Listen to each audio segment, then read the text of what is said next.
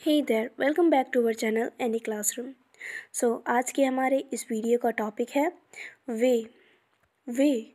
इस वीडियो में हम ये जानेंगे कि ये जो वर्ड है वे इसका मतलब हिंदी में क्या होता है। सो so, ये जो वर्ड है वे। वे इसे हम हिंदी में कहते हैं मार्ग रास्ता। मार्ग रास्ता वे।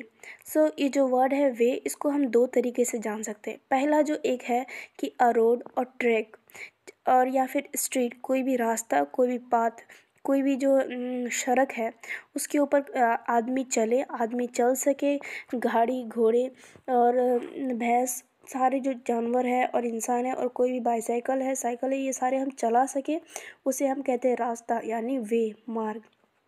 एक होता है वो वे और एक होता है way method style of manner doing something मतलब कि कोई भी चीज़ को एक सलीके से, एक मेथड से, एक वे से काम करना, उसे भी हम कहेंगे वे। सपोज़ कि अगर आप कोई घर बना रहे हैं तो आपको वो घर बनाने के लिए जो जो चीज़ें चाहिए, उसके आप अमल से, उसके आप सलीके से सारी चीज़ों को इंतज़ाम करके तब घर बनाएँगे। अब ऐसे ही कोई भी चीज़ ले करके कहीं से भी कुछ उठा करके नहीं बना सकते। तो घर बनाने का एक तरीका होता है और उसको किस तरह से बनाया जाता है, उसका भी एक तरीका होता है। तो उस तरीके को भी हम कहते हैं वे। और एक रास्ता जिसमें हम इंसान चल सके बाइसाइकल्स साइकिल्स ट्रक्स व्हीकल्स ये सारे चल सके, उसे भी हम कहेंगे वे। वे का मतलब दो होता है तो हमने जाना कि वे का मतलब क्या होता है, और वे हम डेली लाइफ में कब कब यूज़ कर सकते हैं। सपोज़ कि अगर कोई इंसान कहीं पे जा रहा है, तब हम उसको एडवाइस दे रहे हैं कि आपको उस वे से जाना चाहिए, यानी कि उस रास्ते से जाना चाहिए।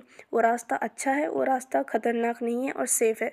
तो हम कहेंगे you should go on that way मतलब कि आपको उस रास्ते से जाना चाहिए।